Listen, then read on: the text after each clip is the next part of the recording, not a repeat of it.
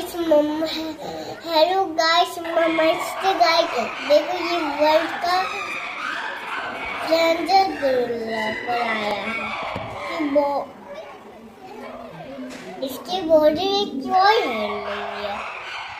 और ये बहुत अच्छे स्लेन है। और ये बहुत एंग्री भी है।